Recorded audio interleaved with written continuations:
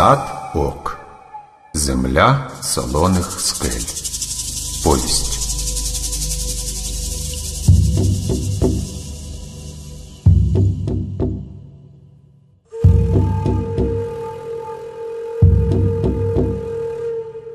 Чую в лісі крики й завивання. Чую в лісі бубни та бойовий клич. Сховай мене, лісе, щоб сліду не видно. Дай мені силу ведмедя і спритність пуми.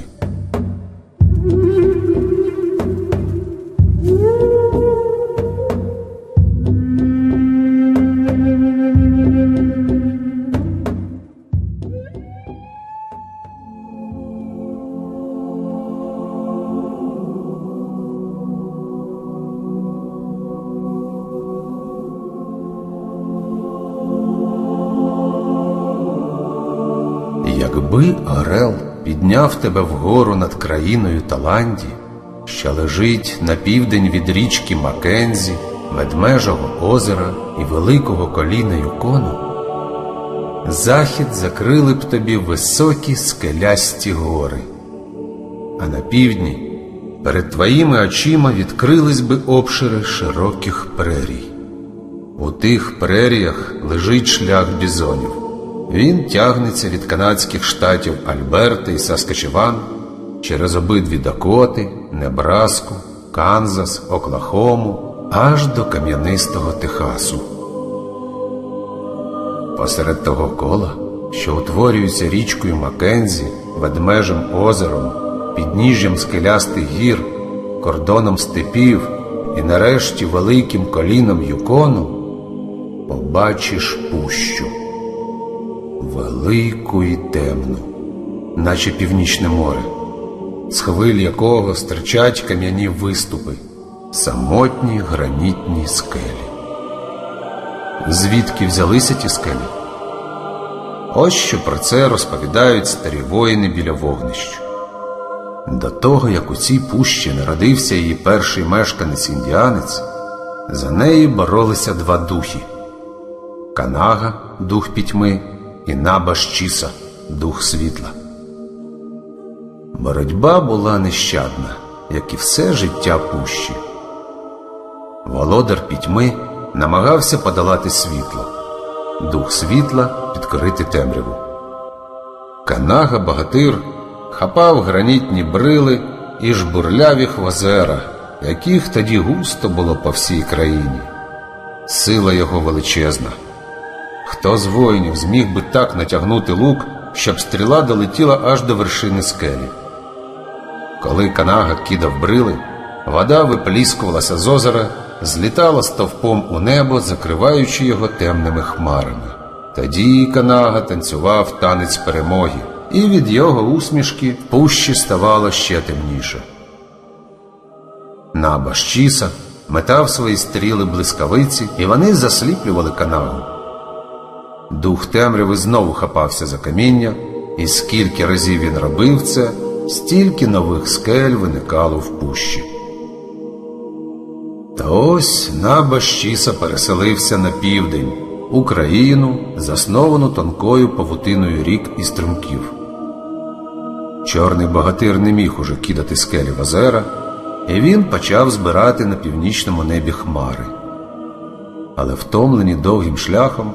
Хмари ослабли і скорилися сонцю, спільникові набащіси. Вони зайшлися слізьми, і сонце заблищало в краплинах, що спадали на землю. На півночі, там, звідки прийшли хмари, розквітла райдуга. Запанувало світло, від якого осліп чорний канага. Набащіса танцював танець сонця. Сліпий канага сховався в горах і живе там досі.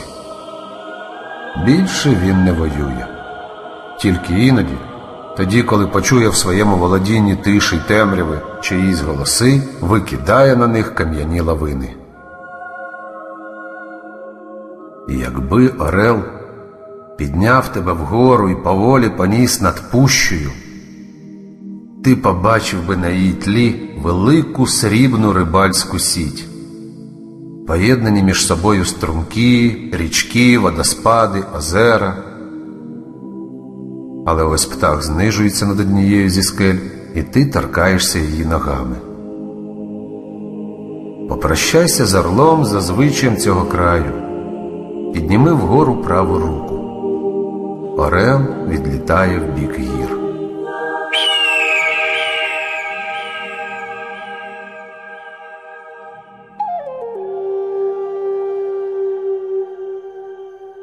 Ми разом з тобою спустимося зі скелі в саме серце пущі.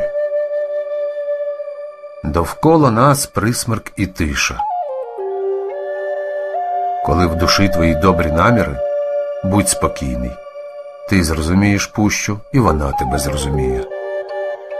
Та якщо нерозважно захочеш збурити її спокій, пам'ятай, вона тебе знищить. Я привів тебе сюди, щоб ти вивчив її, щоб прийнявся до неї моїм відчуттям, повагою і любов'ю. Вона мій дім, дім мого батька, друзів, дім мого племені, шиванезів. Вона годує нас і одягає, тішить своєю красою, але вміє навчити також і страху. Поглянь. Он найстаріші величезні дерева. З їх гілок звисають аж до землі темні покривала моху, зелені, бурі. Коли на стовбур падає сонячний промінь, кара блищить сріблом, як голова столітнього воїна. Пам'ятай, у пущі повно духів. Вони можуть бути лагідними і прихильними, та коли порушиш їх спокій, духи забувають про милосердя. У лісі все живе. Навіть оцей підлісок, де між гілками розвішав свою тоненьку павутину зузі павук, теж має душу, що вже говорити про великі дерева та про тварин. Отже, повторюю будь обережним і шануй закони пущі. Пізнаватимемо її разом, будь моїм товаришем і другом. Проживемо разом багато років і хай над нами пройде багато великих і малих сонць. Я навчу тебе наших пісень і танців, ти пізнаєш долю нашого племені, племені і досі вільних індіанців шиванезів. Я поведу тебе до мого селища. Ми прийдемо туди вперше в пору місяця, що піднімається вгору. Це місяць снігів і морозів. Ти взираєшся назад шукаєш орла. Він уже повернувся до свого гнізда. Тож ходімо зі мною на берег одного з озер.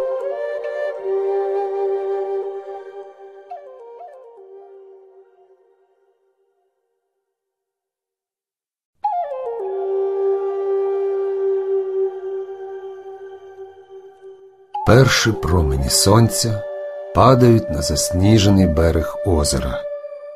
Озеро вкрите кригою, сніг рипить під ногами, дух озера спокійно спить у пору місяця, що піднімається вгору.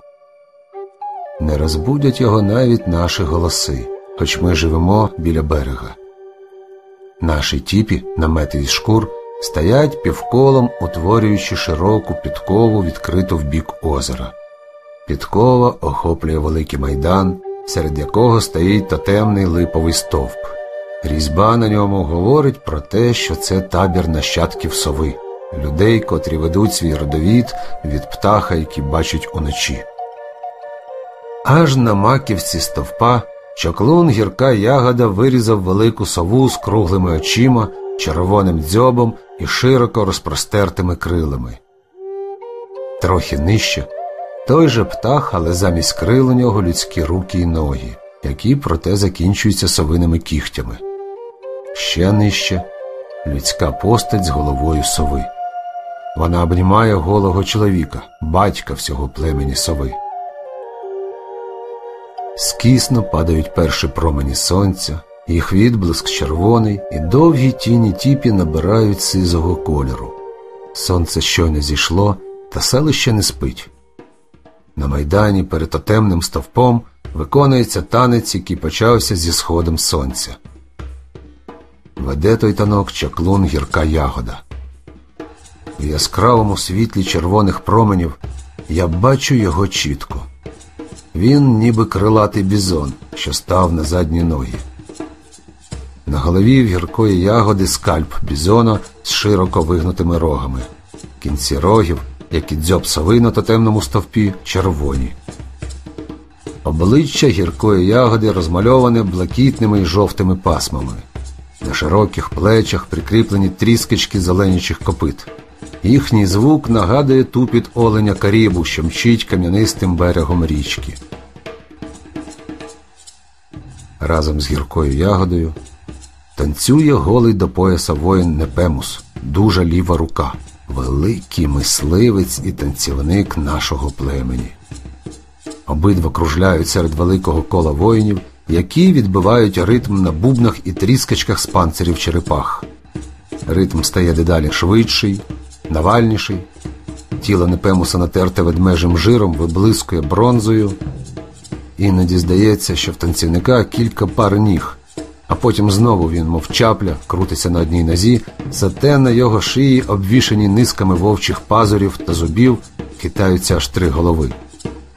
Тамагавк Непемуса завдає удари невидимим противникам. До речі, тамагавк у північноамериканських індіанців це бойовий кійок з укріпленим на кінці кам'яним ударником. Ця назва перейшла також на бойові металеві сокірки, що їх купували індіанців європейців. Рука воїна безпомильна. М'язи його тверді, мов ведмежі ікла. Кожен удар, свист леза тамагавка то пісня смерті для ворога. Дедалі могутніше лунає спів воїнів. Маніту, маніту, дай їм силу ведмедя. Хай будуть вони відважні, як вовк, хай візьмуть собі мужність у рисі. Це день Нананчіса, віддалення, свято прийому малих хлопчаків до школи природи. Тому, коли раптом слабне пісня і сповільнюється ритм танцю, Непему спрямує до тіпі вождя племені Леу Карко Онома, високого орла. Непему скрадається. То ступить кілька кроків, то зупиниться. Він піднімає вгору томагавк і, пританцьовуючи на місці, прислухається водночас до звуків усередині намету. Слідом за ним посувається коло воїнів, разом з ними гірка ягода. Непему зупиняється перед входом до намету. Але двоє воїнів із списами, прикрашеними перами, виходять наперед і заступають йому шлях. Непемус кілька разів намагається прорватися всередину, але перед ним схрещуються списи воїнів, і танцівник відступає. П'ять разів схрещувалися списи, п'ять разів Непемус відступав од намету. Це значило, що хлопцеві, за яким він прийшов, сповнилось п'ять років, і йому настав час почати життя серед воїнів, учитися їх мудрості, пізнавати закони людей і лісу. Тим хлопцем був я.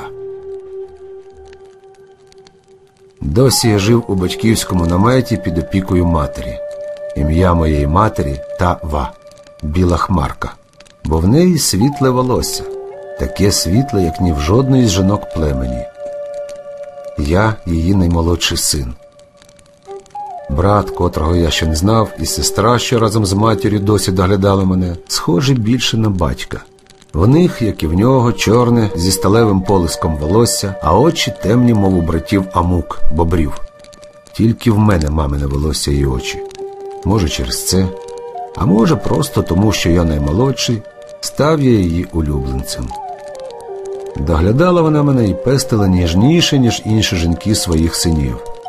Досі, і ще багато місяців потім, мене називали просто Уті, малюк. Так називали всіх малих хлопчиків. Імен ми ще не мали. Ім'я треба було завоювати, і часто така перемога здобувалася не лише потом, але й кров'ю. Як і кожен уті, я мріяв про свята Нананчіса, а після нього мав переселитися в табір молодих вовків під опіку старих воїнів. Там, разом з іншими хлопцями нашого племені, я вчитиму щитати вовчі сліди, робити каноє з березової кори, ставити сельця на стежках видри, влучати на ляту стрілою з лука в дику качку. Там я пізнаю закони лісу та обов'язки воїна. Там я стану дорослим. До речі, каное це легкий човен північноамериканських індіанців. Ви мене, мабуть, розумієте.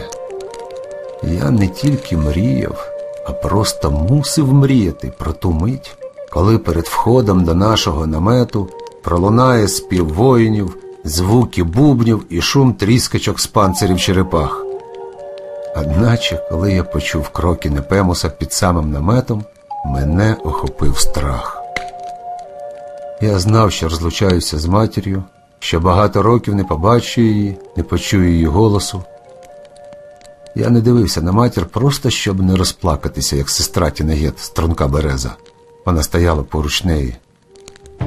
Коли шкура при вході відхилилась, і переді мною з'явилася кремезна постать Непемуса, я забув про всі свої мрії, про табір молодих вовків і службу воїна. Я хотів кинутись до матері і в її обіймах сховатися від посланця грізного незнаного світу. Але Непемус не дав мені часу ні на плач, ні на страх, ні на розпач. Він смикнув мене за руку, і я опинився між ним і чеклуном, відірваний від матері. Отак я зробив на утоптаному скрипучому від морозу снігу перші кроки в нове життя. Перед очима в мене замиготіли пучки вовчих і ведмежих скальпів та тріскачки зеленячих копит, що висіли на руках гіркої ягоди. Я стояв обличчям до сонця, і мене аж до серця проймав холодний дрож. Але на той час я вже забув про всі свої страхи і сльози за матір'ю. Адже я ступив на нову дорогу, дорогу, з якої немає вороття.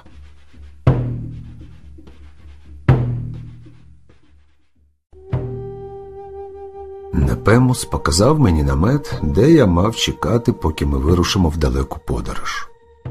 Адже табір молодих вовків розташований далеко від селища. Я лишився в наметі сам, не плакав.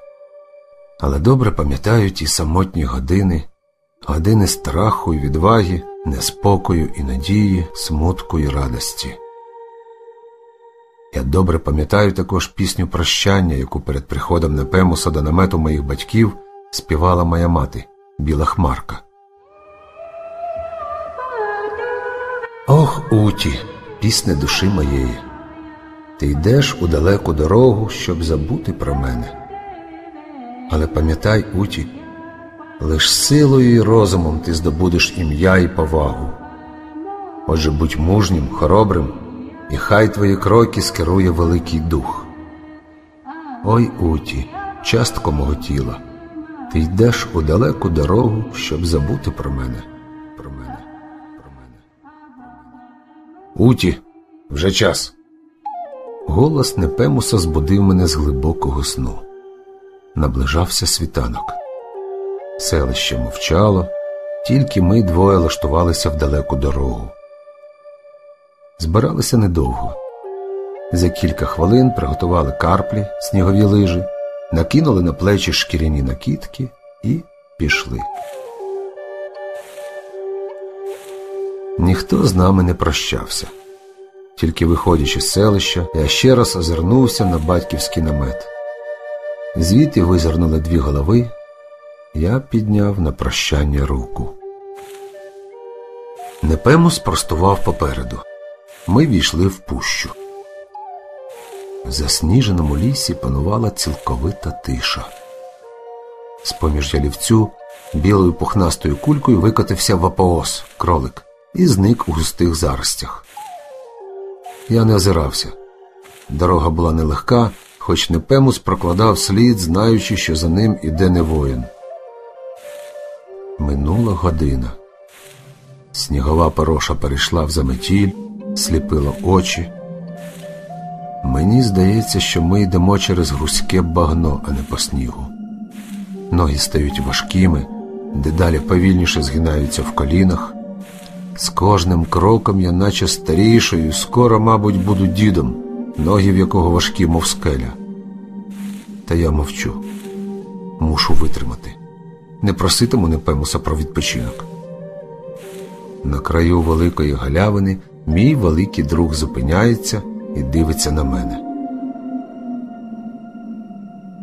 Я не можу стримати важкого дихання.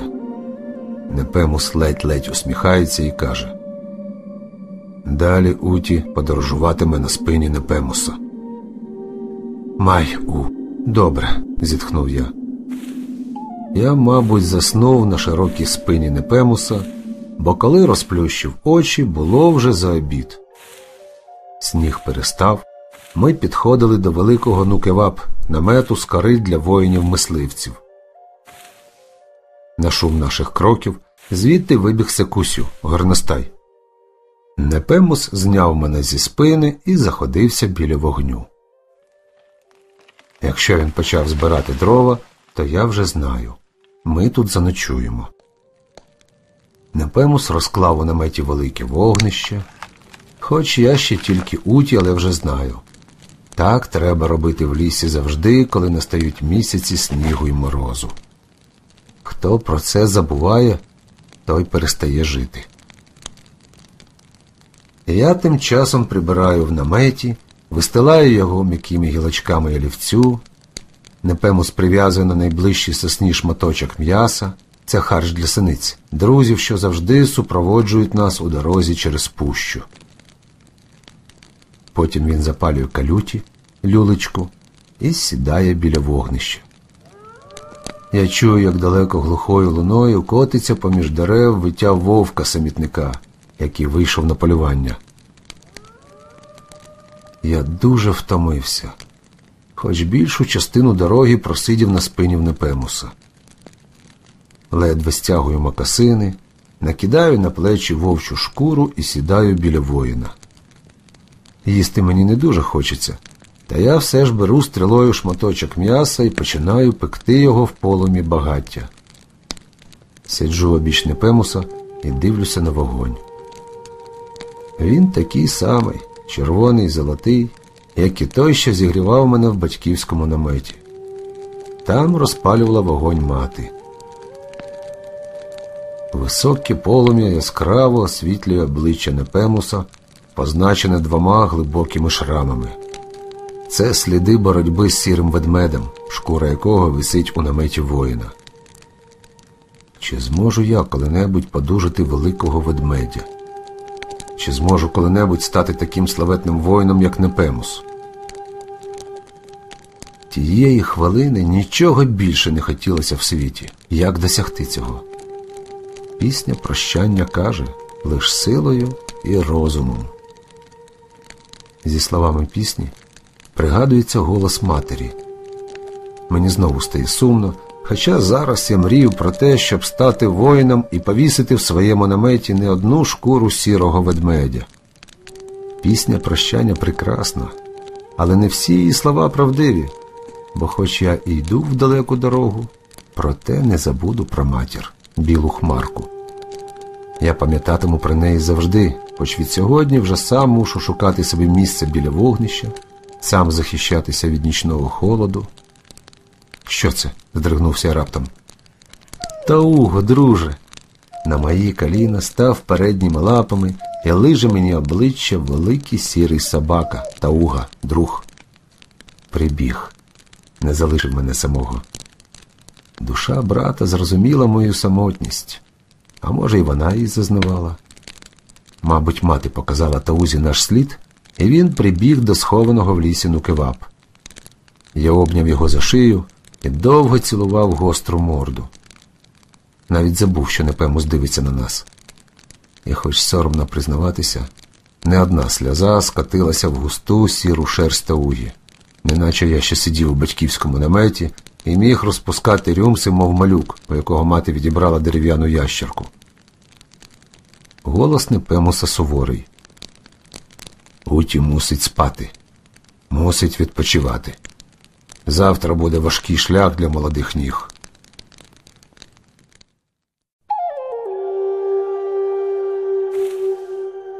І знову дорога. В пущі зустрічає нас схід сонця і виття Мугікунс, вовків. На цей клич Тауга, підібгавши хвоста, піднімає голову і відповідає протяжним надривним виттям.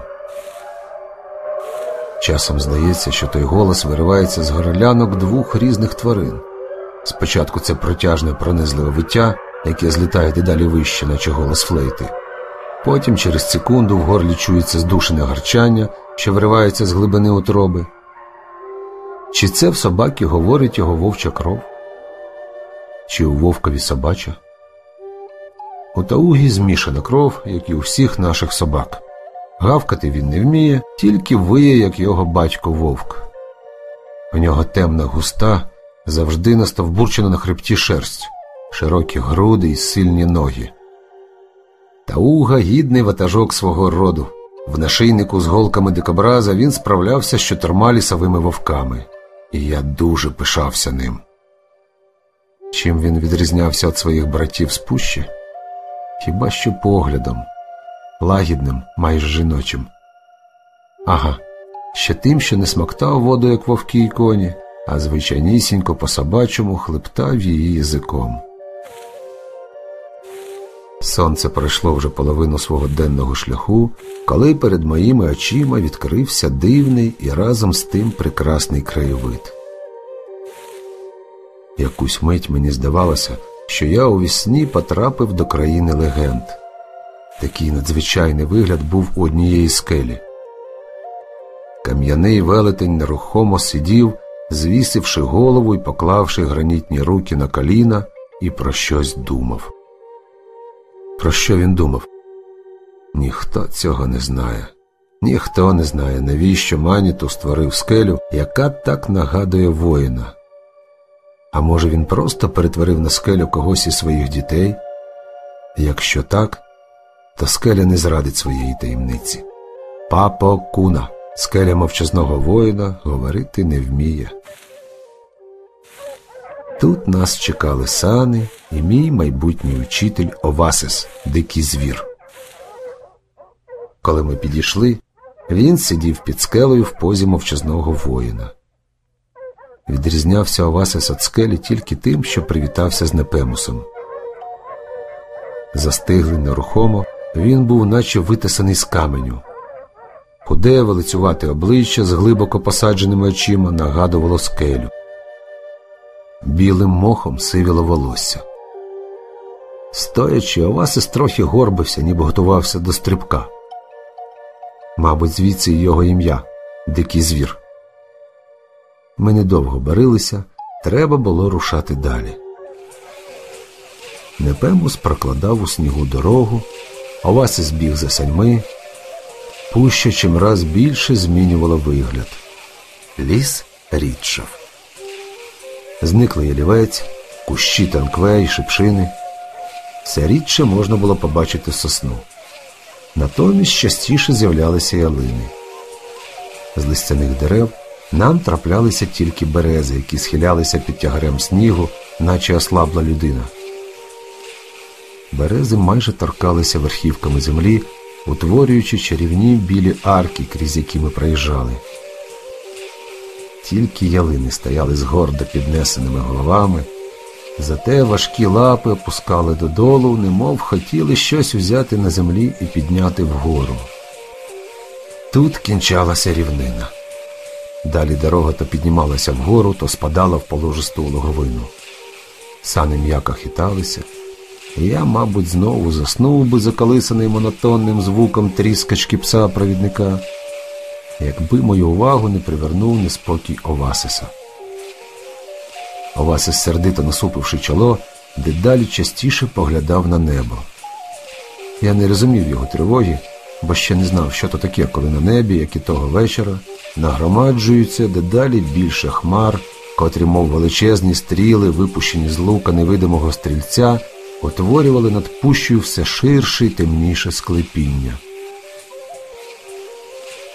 Я не знав, що це означає, бо ніколи ще не доводилося бувати в непроглядній сніговій хорделиці, принесеній північно-західним вітром, яка інколи страшніша, ніж зграя голодних вовків. Проте я розумів, що Авасис без причини не морщитиме чола. Навіть у голосі Непемуса відчувалися неспокійні нотки, коли він криком Гир, гир підганяв собак. Я пам'ятаю все, наче це було сьогодні. Сніг падає дедалі густіше, вітер обтрушує з гілок дерев білі, змокрілі від північно-західного вітру бурульки. Дорога стає все важчою, не чути вже в упряжці веселого гавкання, полози саней залиплі снігом, заважають рухатися, провалюються. З боків усе щільніше підступають кучугури вогкого снігу. Мовчать натомлені собаки, сніг не скрипить під лижами Овасиса, западає темрява, але ми не спиняємося на стоянку. Поволі розпливаються в моїх очах постаті Непемуса і Овасиса, сніг падає мені на обличчя, засліплює очі. Я чую гарчання тауги, який, мабуть, підганяє собак в запряжці, кусаючи їх за вуха. Вже стало зовсім темно, коли раптово звертаємо в бік з основної дороги. Тепер сани щохвилини то піднімаються вгору, то падають вниз. На крутому повороті я чую під полозами скрегіт каміння, і, наче мене хтось пожбурив, лечу в великий сніговий замет. Встати мені важко, а плечі загрузли в кучугурі, і тепер ніяк, ніби у важкому сні, не можу виборсатися з неї. Чую торсення переплутаної запряжки, люте гарчання таугі і свист батага. Коли я виліз, Непемус уже дав лад собакам. Наді мною нахиляється Овасис. Прямо перед очима я бачу його блискучі зіниці і зуби. Він сміється з мене. Іди на сани, Уті, каже він. До табору нам залишилося вже тільки два польоти стріли. Я не смів відповісти, не відповів навіть усмішкою. Але, почувши ці слова, був справді дуже щасливим. З цієї миті я вже не був дитиною. Я ставав Могікон Сіт молодим вовком.